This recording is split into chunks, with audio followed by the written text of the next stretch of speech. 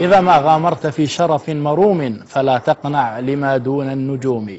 والعلم من خير ما تبحر فيه. لذلك كان الكتاب المشوق إلى القراءة وطلب العلم لصاحبه علي بن محمد بن حسين العمران وقد ولد سنة تسعين وثلاثمائة وألف. تتلمذ على كثير من كبار العلماء كابن باز وابن عثيمين عليهما رحمة الله وكذلك الشيخ صالح الفوزان والشيخ بكر أبو زيد وغيرهم. وحصل على درجة الماجستير في الحديث وله الكثير من المؤلفات والتحقيقات. وحصل على كثير من الإجازات العلمية. أما هذا الكتاب فإنه يبين بوضوح وجلاء صورة صادقة من صور حب العلماء للكتب وشغفهم بها قراءة وإقراء وتحصيلا عبر نماذج فريدة وصور عجيبة ملتقطة من سيرهم وتراجمهم.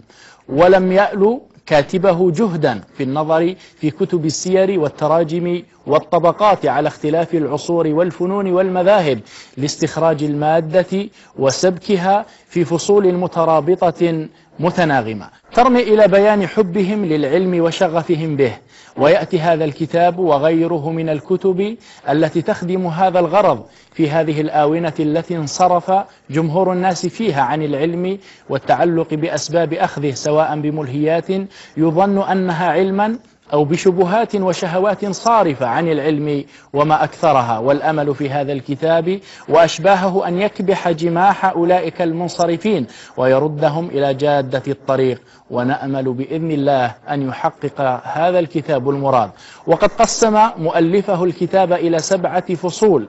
الفصل الأول الحث على الازدياد من العلم. والفصل الثاني حرص العلماء على قراءة الكتب وتحصيلها. أما الفصل الثالث قراءة المطولات. الفصل الرابع تكرار قراءة الكتاب مرات كثيرة.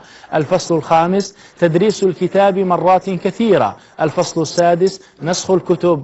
أما السابع فهو إيقاظات وتنبيهات.